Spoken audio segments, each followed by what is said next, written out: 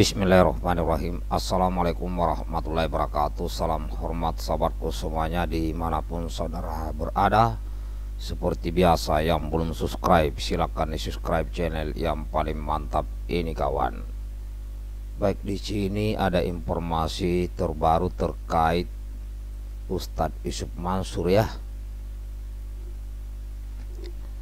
Saya bacakan medianya dari repelita.com dengan judul Ustadz Yusuf Mansur bongkar biaya operasional pesantren miliknya.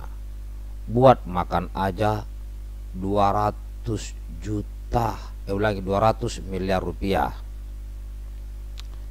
Ustadz Yusuf Mansur resmi digugat 12 orang terkait investasi pembangunan hotel di Pengadilan Negeri Tangerang Kamis 9 Desember 2021 lalu. Pengacara penggugat sekaligus korban Ikhwan Toni menyebut bahwa Ustadz Yusuf Mansur telah menerima sejumlah uang dari kliennya. Baru-baru ini Ustadz Yusuf Mansur pun buka suara terkait tudingan yang menyasar dirinya. Ayah dari Wirda Mansur itu menyebut adanya sekelompok orang yang sengaja menjatuhkan namanya. Memang ini ada sekelompok orang yang sengaja memelihara Seakan-akan saya bermasalah karena dari 2017 dilaporkan ke berbagai kepolisian dan terakhir gugat perdata. Setiap mau ngelaporin saya itu press kompres besar-besaran. Katanya dilansir dari kanal YouTube Hotman Paris Show pada Jumat 24 Desember 2021. Ustadz Yusuf Mansur membenarkan bahwa dirinya memang mengumpulkan dana dari 2.900 orang pada tahun 2012 lalu senilai 30 miliar.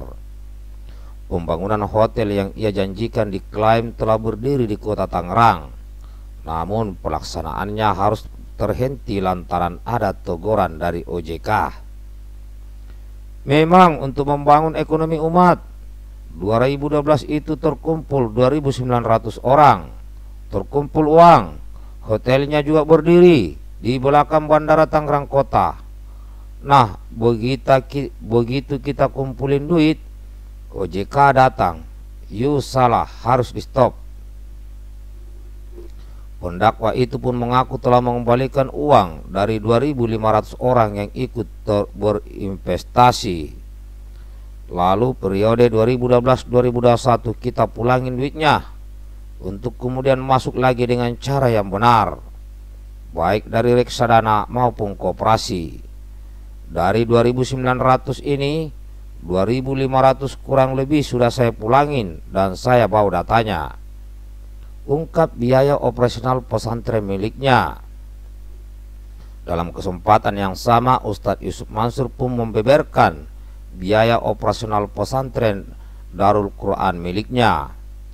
Ia menyebut bahwa biaya makan dari satu pesantren saja menelan 10 miliar per tahun.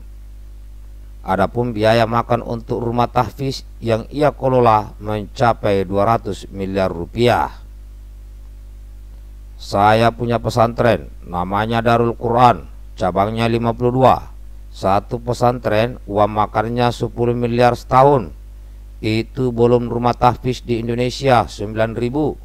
1500 di antaranya pakai nama kami Darul Quran. Itu buat makannya aja kurang lebih 200 miliar.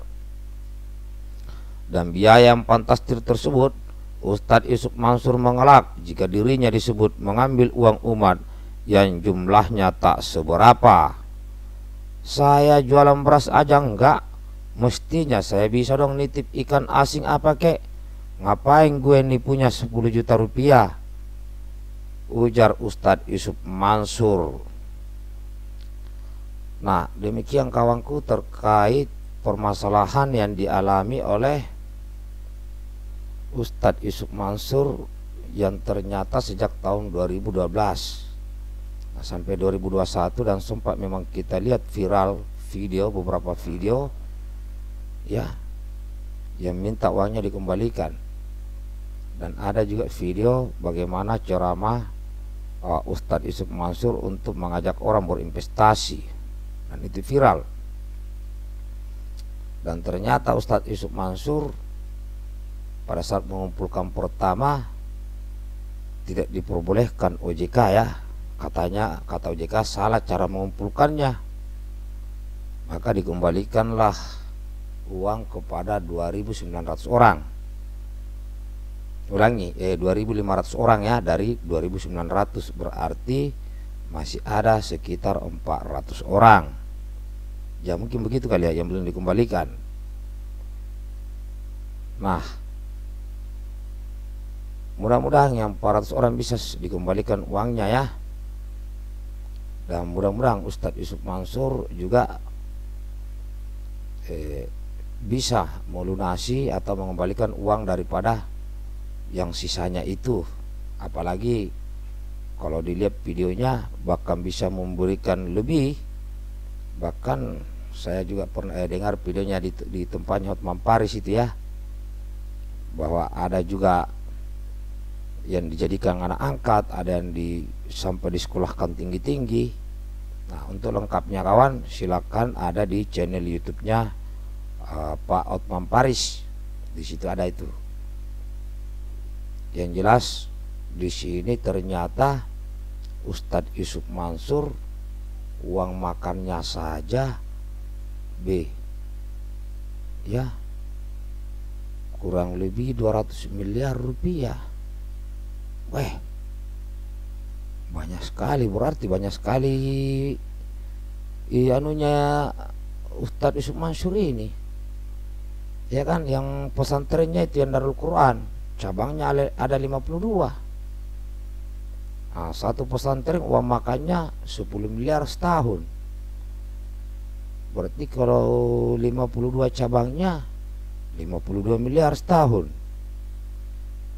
eh, belum lagi rumah tahfiz di Indonesia ada 9000 dan 1500 di antaranya pakai nama Darul Darul Quran itu buat makannya kurang lebih 200 miliar. Weh apa usahanya di situ? Apa usahanya itu lagi tuh ya? Sampai makannya saja 200 miliar. Kira-kira apa usahanya itu ya? Uh, untuk bisa ngasih makan uang makan begitu. Atau mungkin ada usahanya ya? Ya silakan bagi saudaraku yang mau berikan tanggapan atau masukan atau tambahan silakan ya cuman saya berpesan dari kata-kata yang bersifat uh, meremehkan bersifat kebencian ya hidaan cacian merendahkan. Ya kita doakan saja. Kalau saya ini orangnya beginilah.